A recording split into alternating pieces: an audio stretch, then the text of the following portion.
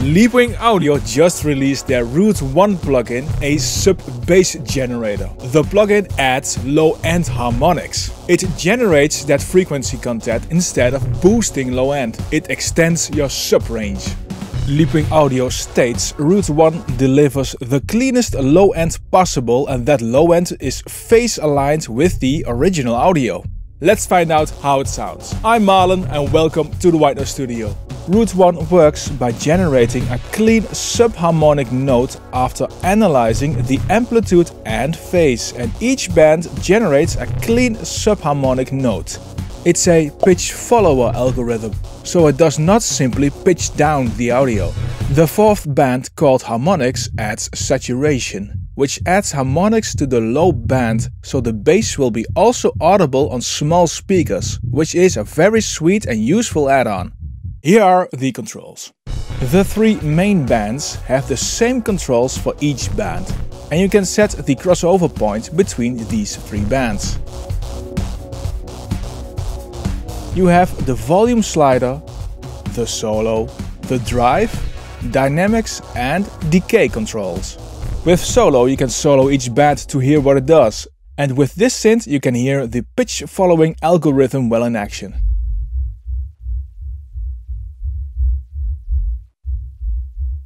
With volume you set how much the band is mixed in. The drive is a post-fader send. With this you set how much of the frequency band is sent to the fourth harmonics saturation band. It sets how much of the band will get added mid-range harmonics. You can drag like this, or click and type, or use the slider too.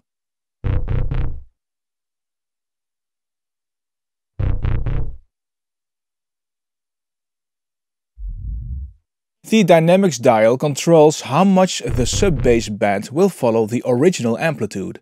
100 is a 100% following of that amplitude and the closer you get to zero, the more even the boost will be and less dynamic and it will be boosted more in that narrow range.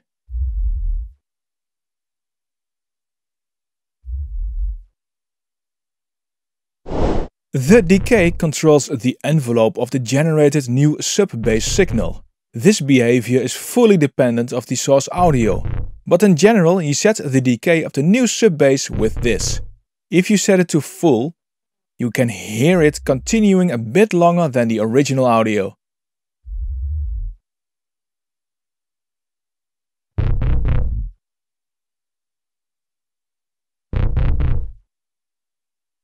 This can be helpful if you want to extend the low end a bit. The saturation section has a few different controls. The level sets the level of the generated harmonics. With the drive, you set how much harmonics there will be overall. The color changes the distortion type of the drive. 0 is more tape-like and 100 is more tube-like. But they are not emulations. With the low pass, you can roll off the harmonics to tweak how much of these harmonics are added in.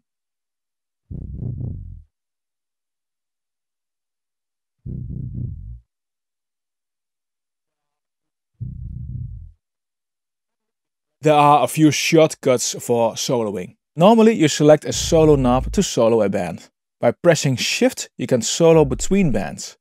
And if you have selected a few bands in solo, alt click will reset all solos.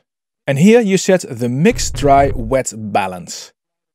With the slider named original you set how much you blend back in the original audio. With the output slider you can compensate for overall volume.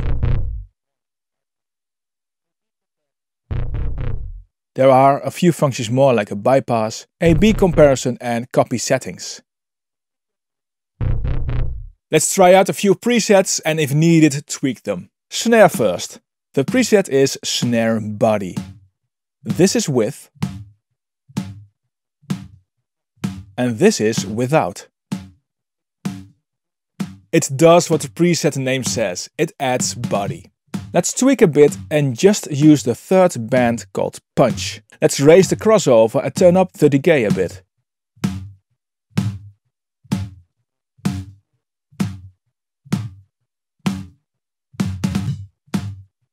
It makes the snare a lot fuller and punchier. Synths are next. Preset is Synth Thick. And it does make this synth thicker. Let's tweak a bit to hear how every control sounds.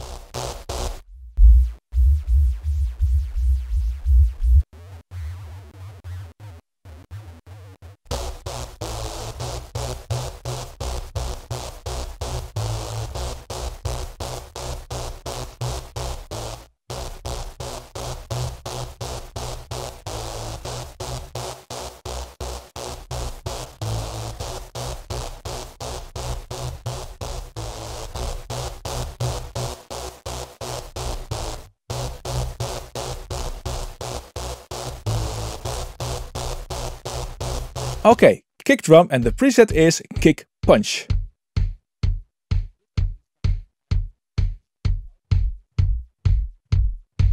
This already sounds nice and punchy without any tweaking.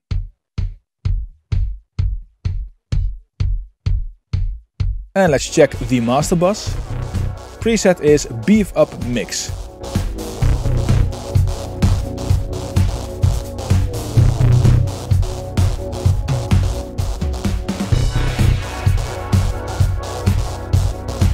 And it does beef up the mix. So Leapwing Audio has chosen their preset names pretty well. The Rootone does what was promised. It makes a sub bass and bass bigger without muddying up the low end. Of course it works a bit better on sources like kick and snare than complex harmonic material, but that is inherent of the audio used. The saturation section is very helpful for bringing out the low end of small speaker devices. This is definitely one of the cleanest sounding low end extension plugins I ever heard. If you are in need of big low end and want a plugin which is easy to dial in and gives great results quickly, check out this plugin. Please remember to subscribe to this channel and like this video. Check out the video displayed on screen right now if you want to know more about mixing. Thank you for watching and I'll see you in the next one. Bye!